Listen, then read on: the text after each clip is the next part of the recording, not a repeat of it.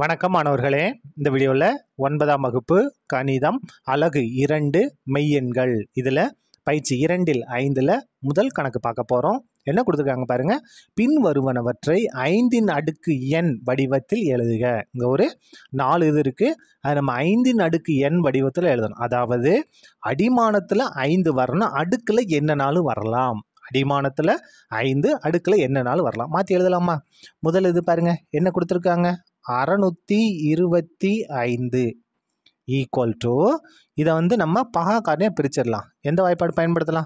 ஐந்தாவது வாய்ப்பாடு. ஆறில் ஓரஞ்சா அஞ்சு. மிச்சம் எத்தனை இருக்குது ஒன்று இங்கே வந்துச்சுன்னா பன்னெண்டு. பன்னெண்டில் ஈரஞ்சா பத்து. மிச்சம் எத்தனை? ரெண்டு. அஞ்சுக்கு முன்னாடி இருபத்தஞ்சு. ஐயஞ்சா இருபத்தி ஐந்து. அப்போ மறுபடியும் அஞ்சா வாய்ப்பாடு. பன்னெண்டு இருக்கா? ஈரஞ்சா பத்து. மிச்சம் ரெண்டு. இங்கே வந்தால் இருபத்தஞ்சு. ஐயஞ்சா இருபத்தி ஐந்து. திரும்ப அஞ்சா வாய்ப்பாடு. ஐயஞ்சா இருபத்தஞ்சு. ஐயஞ்சா இருபத்தி ஐந்து. அப்போ பாருங்கள் ஐந்து பெருக்கல் ஐந்து பெருக்கல் ஐந்து பெருக்கல் ஐந்துன்னு எழுதலாம். அப்போ என்ன அர்த்தம்? இங்கே ஐந்தின் அடுக்கு ஒன்று ஐந்தின் அடுக்கு ஒன்று ஐந்தின் அடுக்கு ஒன்று ஐந்தின் அடுக்கு ஒன்று அப்போது ஐந்தின் அடுக்கு நான்கு. அடிமான சமமாக இருந்து பெருக்கல் இருந்துச்சுன்னா அடுக்குகளை நம்ம கூட்டலாம். அடிமான சமமாக இருந்து பெருக்கல் இருந்துச்சு நம்ம என்ன செய்வோம்? அடுக்குகளை கூட்டுவோம். அப்போது ஏயின் அடுக்கு எம் பெருக்கல் ஏயின் அடுக்கு என் அப்படின்னா ஏயின் அடுக்கு எம் ப்ளஸ் என் இந்த ஃபார்முலா தான். சரியா?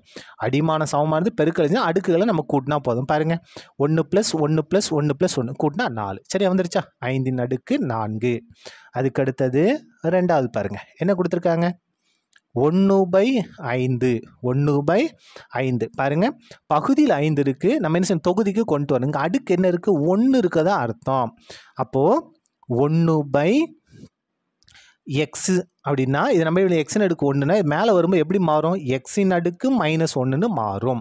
எக்ஸின் அடுக்கு மைனஸ் ஒன்று அப்போ ஐந்தின் அடுக்கு ஒன்று நமக்கு மேலே வரும்போது எப்படி மாறிடும்? ஐந்தின் அடுக்கு மைனஸ் ஒன்றுன்னு மாறும். சரியா?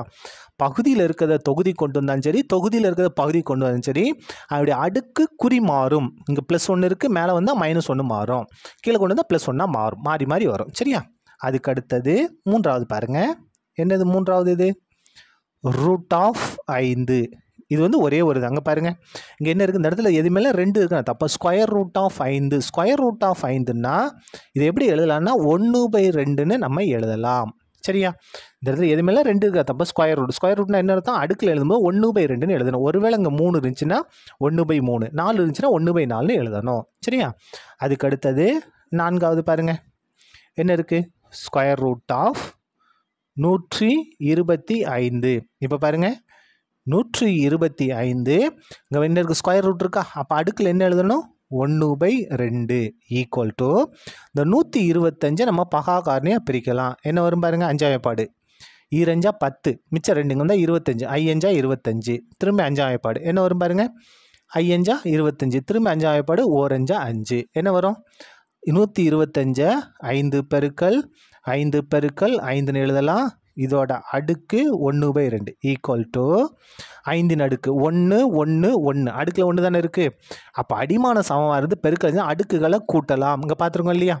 அப்போ ஒன்று ப்ளஸ் ஒன்று ப்ளஸ் ஒன்று கூட்டினா என்ன வந்துடும் மூணு.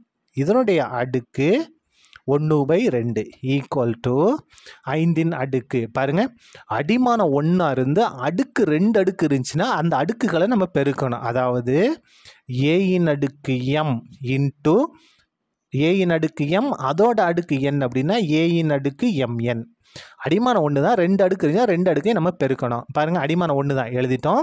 அடுக்கு ரெண்டு இருக்குது மூணுன்னா என்ன அர்த்தம்? மூணு பை ஒன்றுன்னு அர்த்தம். இதை பெருக்கிடலாமா? அது தொகுதியும் தொகுதியும் பெறணும் பகுதியும் பகுதியும் பெறணும். மூணுன்னா மூணு பை ஓ ரெண்டா ரெண்டு. இதான் என்னது? இப்போ அடிமானம் அஞ்சு வர்ற மாதிரி நம்ம எழுதக்கூடியது. சரியா? அவ்வளோதான் இந்த கணக்கு முடிந்தது. நன்றி.